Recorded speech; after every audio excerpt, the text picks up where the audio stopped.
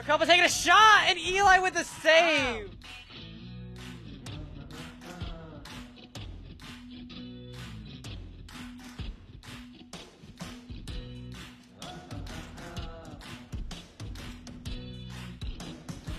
Eli picks it up.